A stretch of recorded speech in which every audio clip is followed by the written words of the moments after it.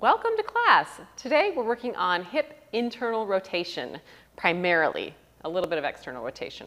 But the reason we're working on internal rotation is because it is typically the foundation, the base layer, the fountain of youth. The more internal rotation we can gain and have control of, the less pain we'll have up or down the chain, the more movement freedom we'll have in everything we do.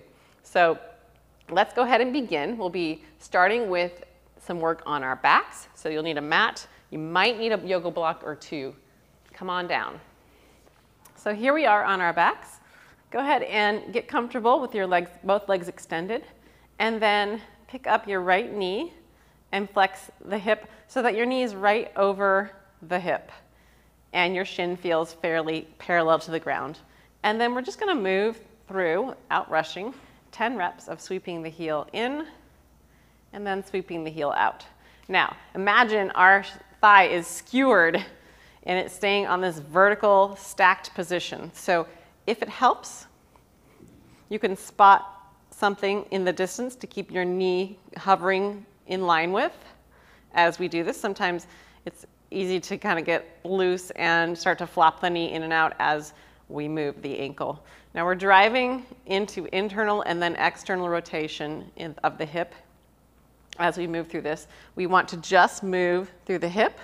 So if you feel like when you swing your ankle out, you feel yourself kind of pinch up right here or side bend or the back feels like it's working, take, get rid of that and make it happen just through the hip. Last two and one. We're doing 10 of nearly everything today. So if I get off track, you make sure you count well for yourself or you might end up doing 13, 14 by accident. All right, next thing we're gonna do is just roll to our, our left side onto the left hip and try to keep that right knee pointing straight up to the sky. So my hips are kind of pointed toward the wall, but up higher. They're not parallel to the wall here. Open them enough that you can get that knee stacked vertical over the hip again. Give yourself some support in the head, and then we're gonna do the same exact drill in this new position. It, it may be a little jumpier. That is not a good reason to rush. Go ahead and move through at a, as much controlled pace as you can. If you have pinchiness in this hip flexor, you can try sinking the knee a bit and working from here just so there's more space right there. I've got five to go. And then we'll do one more drill on this side. So for me here, when I sweep my ankle out is when I feel the most pinchy work right here, this effort right here. And it is when our thigh is in internal rotation. So typically if we're needing some more range or feeling like we're not strong enough in the hips, internal rotation is where we can gain. All right, that's 10 reps for me. Final position, we're going back to our back, the first uh, position we started with before. But we're just going to start in neutral. So go down the line from you. We're going to start in neutral with the, the knee right over the hip and the heel in line, and then swing the heel out. And then from there, we're going to send the, the entire leg down or away toward the floor. So I've got a 90 degree bend in my knee the whole time. I'm going to turn back to the side. If you have yoga blocks and you could not get that heel to tap, it was just too far, or you were compensating to get there, go ahead and grab a block and set it under the target where your heel is probably going to tap and see if you can make contact with that height object. You're going to feel more effort here as you do that work. And I want your low back to stay neutral on the floor and also keep the ribs on the body. So as you start to reach down, you don't let the ribs flare up. You're just moving through that hip joint. I'm gonna say that a lot of times today. I've got five to go. Ooh, and I'm feeling this fire. The more stability you can create in the rest of the limbs, the, the left leg, the right arms, or the arms and the left leg, the more control you're gonna be able to, the more you're gonna be able to recruit work in this hip Three more.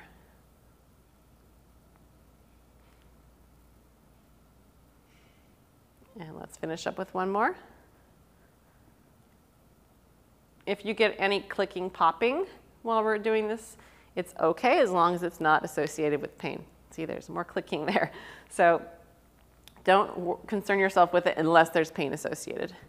All right, let's switch legs. Start with the left leg, starting from the top. So hover that knee, and we're just going to try to push into internal rotation and external rotation.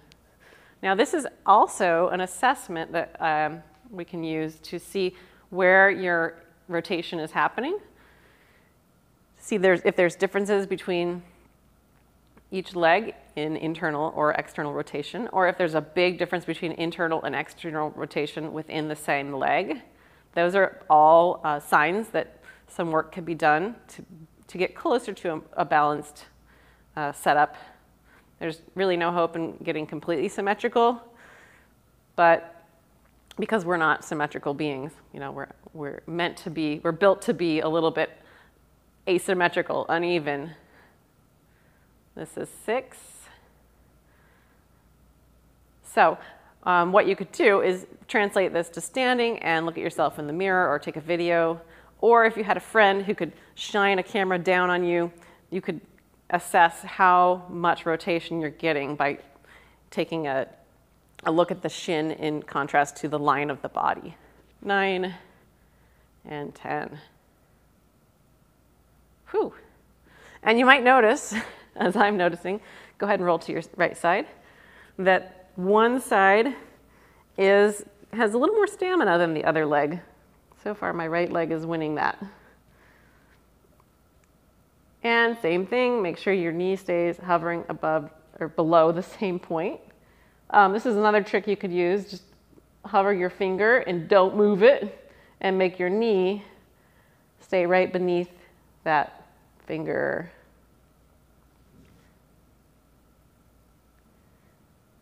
I've got four more. And we'll go to the favorite, the crampiest of all.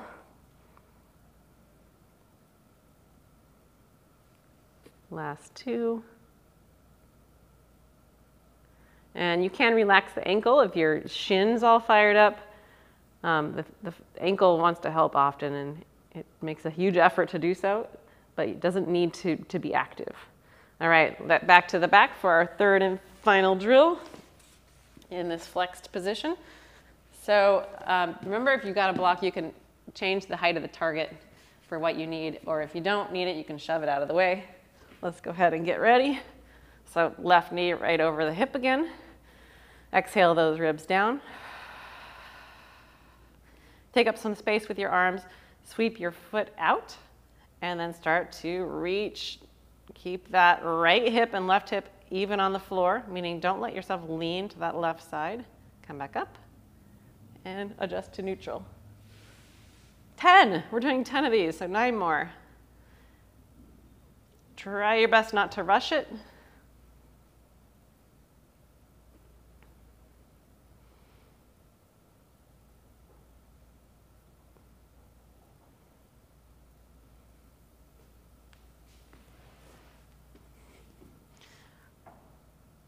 So today when we finish this work, we'll move on to a quadrupedal position, and then we'll hit for our last round a 90-90 base or a seated position. I've got four more reps to go. This is a little bit of a core workout too, right?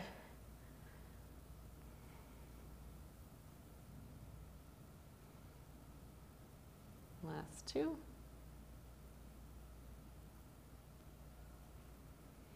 And if you don't have a block for this, you're gonna, you're gonna be able to find something, or you should try to find something that will duplicate as that tool. A good thick book might do. Maybe The Hobbit or something.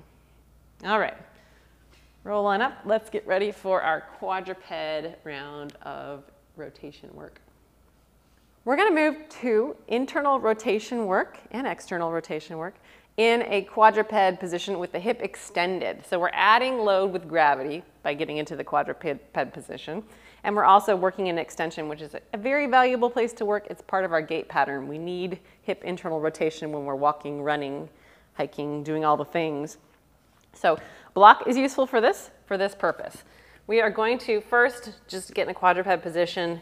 Let's take a couple cat cows just to make sure we're feeling set up in this, in this spot. So inhale, let your belly button sink, let your ribs flare, glide your shoulder blades down your back and sort of pull your palms into the ground.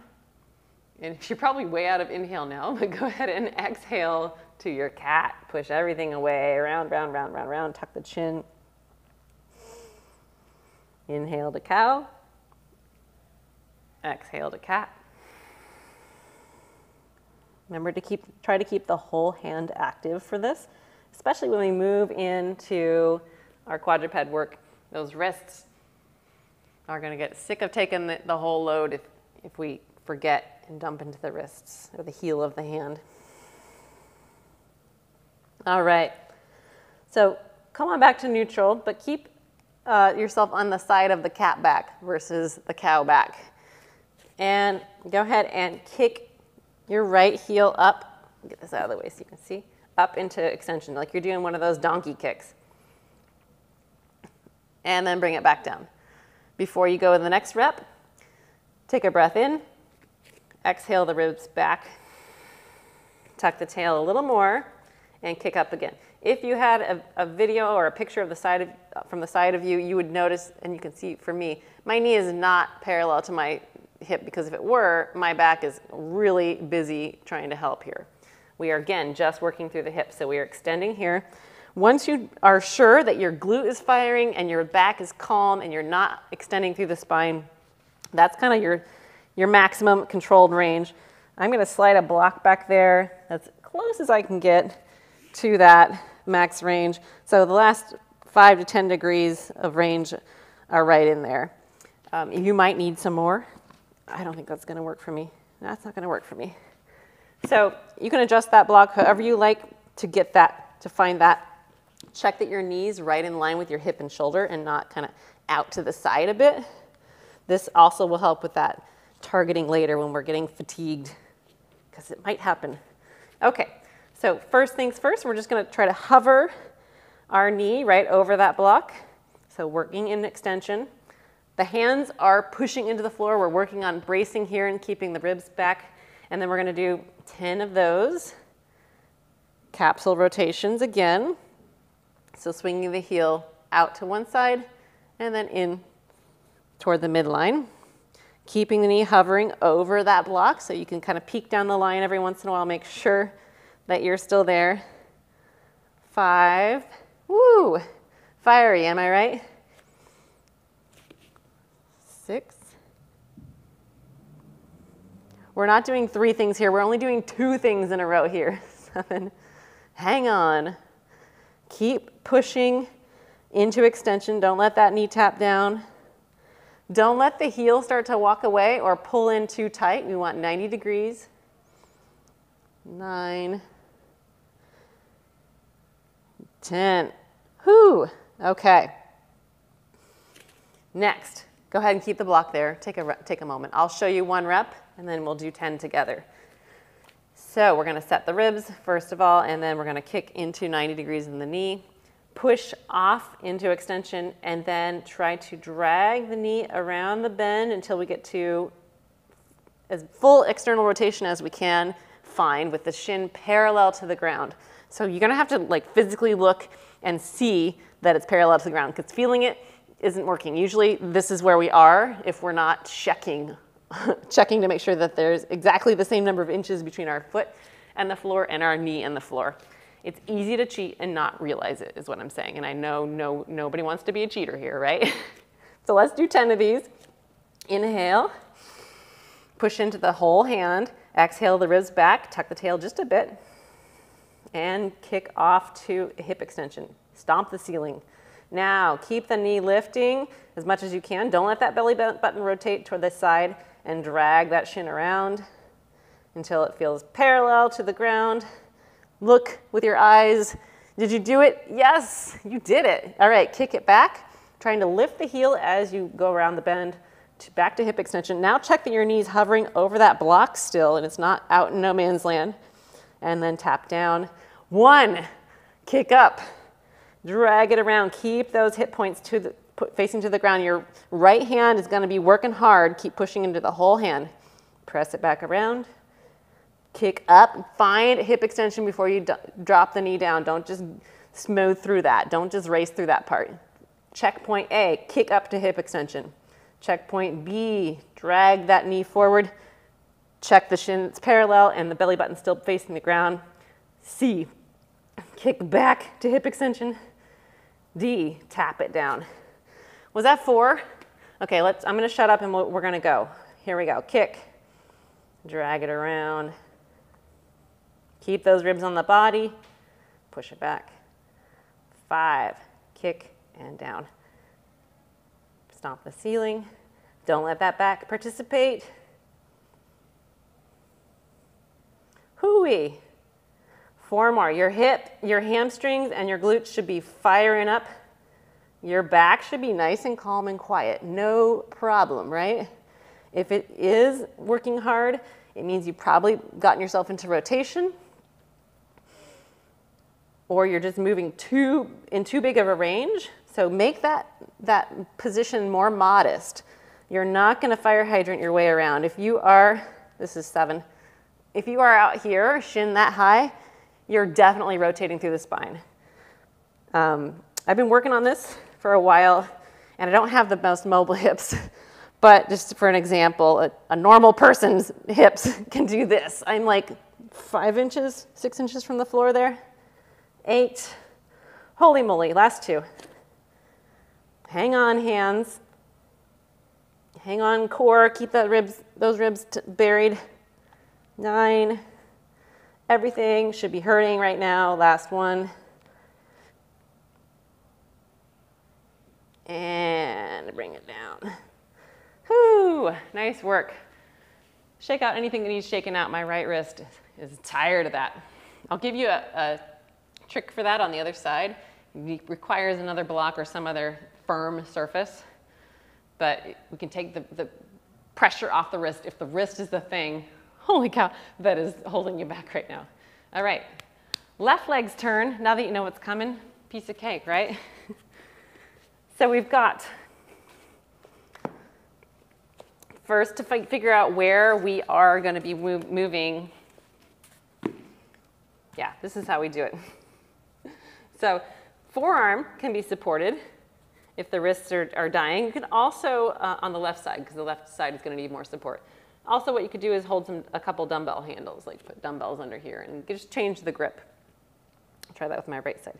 So go ahead and explore. Find what hip extension looks like on the left side first. So take a breath in. Exhale the ribs to the spine. Tuck the tail a little bit and then kick back. That's what you're working with. Slide your block under there. Mine looks like it's gonna be the same height for this side. Tuck the toes on the right foot. Get a nice stance with the, the arms. Maybe you're even wider than shoulder width here with the fingers facing out. Keep pedaling the fingers into the ground. And let's go ahead and kick up. Notice where my foot is. It's right in line with my shoulder and hip. And then we're just gonna swing the ankle and pivot, internal, external rotation, keeping that knee over that spot. Even on that, if you have a mark on your block, I've got a line through the center. I'm gonna try to hover my knee over that line. We've got this. Piece of cake. Keep that knee lifted. Don't let it tap down. Make sure you're in the last five, 10, uh, 10 to 15 degrees of range here and not, you know, shortchanging yourself. If we're not working in the near end range, it's not doing any good. Last two, or the good is much less. I won't, I won't say it's doing none. Last one. Yes. All right. Part two, you already know what's coming. We're going to extend the hip with the spine staying out of it, and then drag the knee forward without laterally flexing. We're not going to let the knee and the, and, or the rib and the hip come closer together either. Let's try it. Take a breath. Exhale the ribs onto the body, tuck the tail, kick into extension. Glute is fired up now. Drag that knee around the bend. Keep the hip headlights shining toward the floor. Come as far as you can. Take a peek. Make sure that the shin is parallel across the floor and your, and your heel isn't kicking up higher than the knee.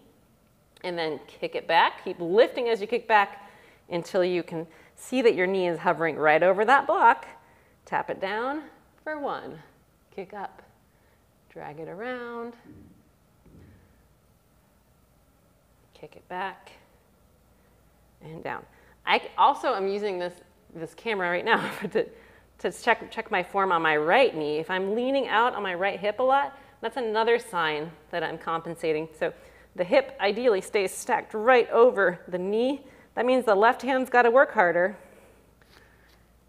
Keeping up that support, that's a, sign to me that I'm doing it well. I'm working in the right position here. This is four for me. Swing that knee in before you drop it. Let's go over the checkpoints again. This is five. Kick up. Drag the knee forward. Check that your shin is parallel. That's two. Drive it back. Three. Tap it down right on top of the block. Four. Yeah? This is seven. Piece of cake. We can do it. Keep those hip headlights shining toward the floor. If you aren't sure where they are, you could put yoga block on your back. This is a pretty gener uh, generous thing. Doesn't fall easily. Um, less generous is like a tennis ball. I can't last more than a couple reps on a tennis ball. I've got two more.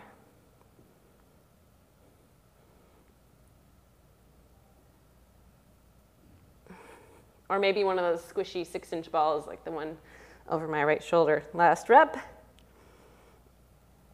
Whoo.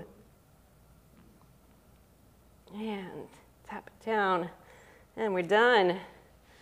Well, did you feel that? Yeah, not just in the wrist.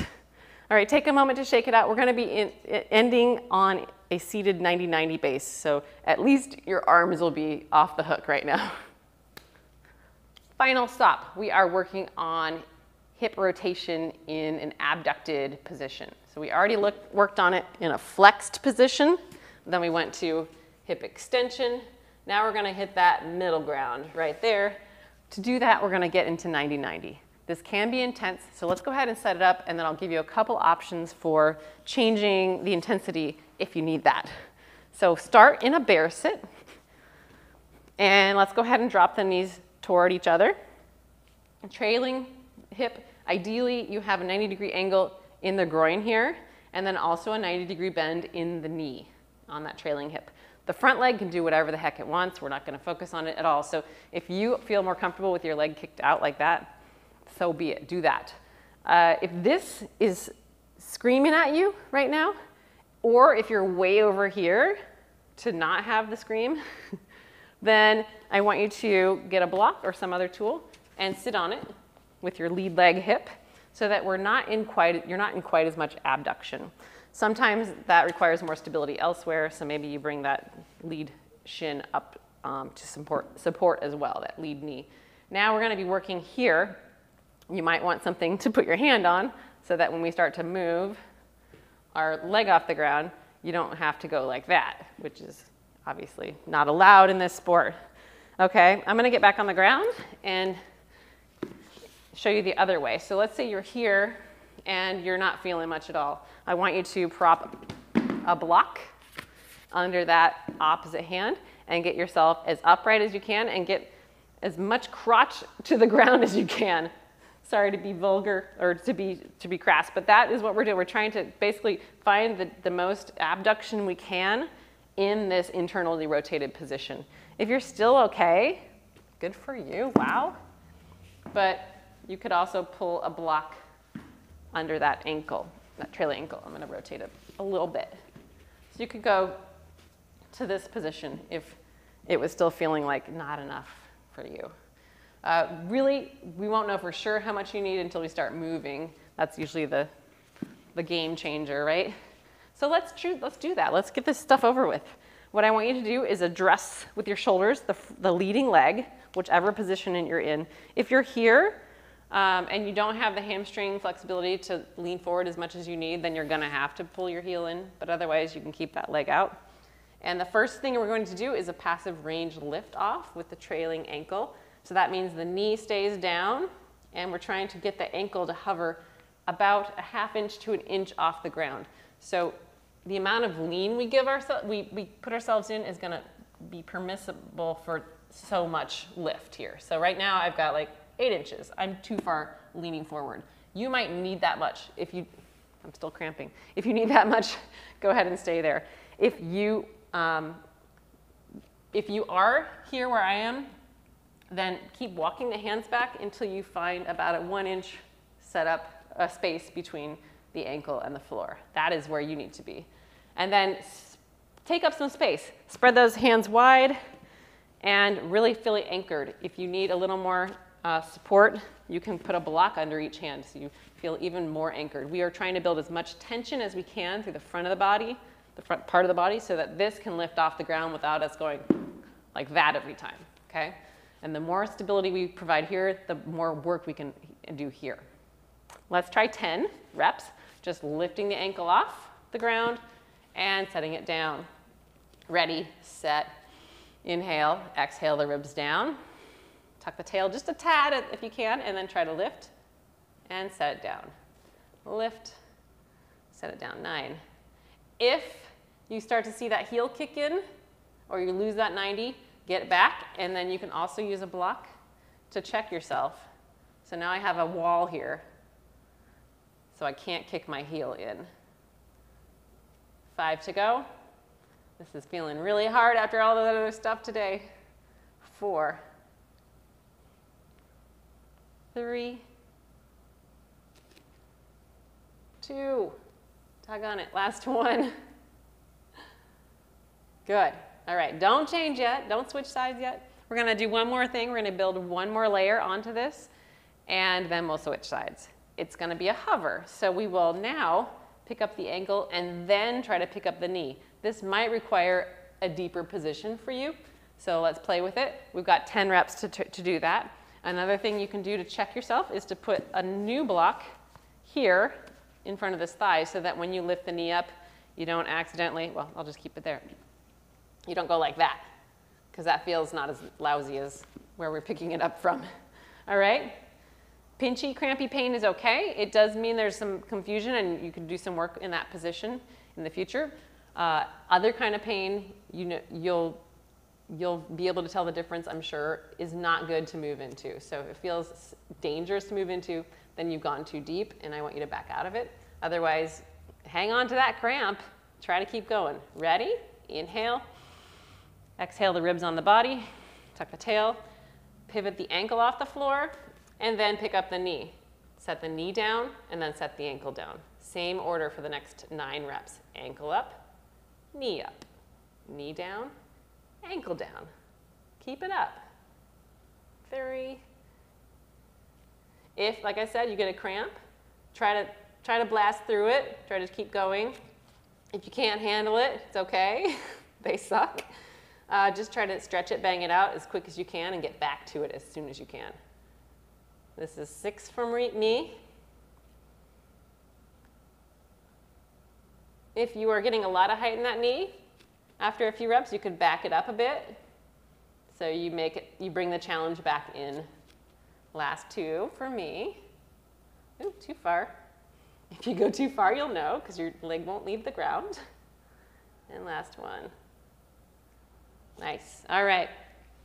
What might feel good is to take that working leg, cross it over the other leg, the, the quiet leg, and just give yourself a little twist, stretch for a moment, and then we'll switch sides and finish up.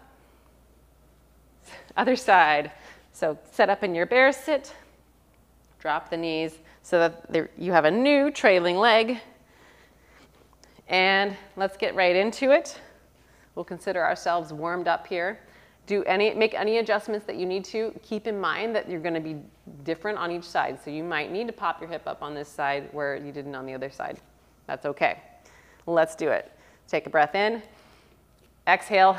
Anchor those hands to the floor. Get some, take up some space. Pull into the floor and then lift that ankle up. Set it down. 10 times. While you're there, if you didn't check before, make sure you got a 90 degree bend in the, in the knee. Check yourself if you like with a little barrier.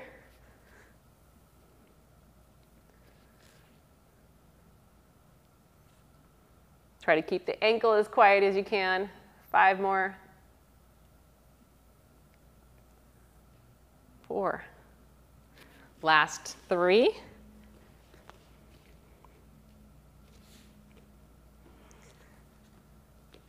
Two. And last one. Nice. Okay, grab that other block, put it in front of your thigh. Make sure you got like maybe, maybe a half inch space, some wiggle room, just in case. And let's anchor up even stronger this time. Inhale, reach to the crown of the head. Exhale, pull those ribs back to the spine without rounding more. Tuck the tail and lift the ankle, lift the knee. Ooh, set the knee down set down the ankle. 10 to, 9 to go. Here we go. Ankle, knee, knee, ankle. 8. Check that that um, elbow on the arm you're bracing away from is not bending to give space, so make sure you're not doing that. Uh-oh. I'm on 6 here. Check that you're not flaring the ribs as you try to lift that knee off the ground. Make just the hip responsible. Also, don't let the tail come untucked. That's another uh, rib flaring opportunity. I got three to go. Three reps, and then we're done. Two, holy moly. That same side hand is providing some good support, yes? Push. And last one. And we did it. Wow. Great work. Crossover, that working hip, and twist to that same side. Nice effort.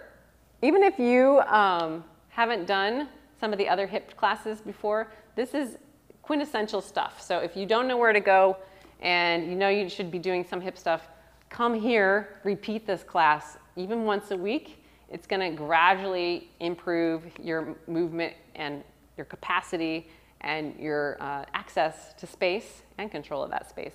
So please keep coming back for more of this stuff. Fountain of Youth.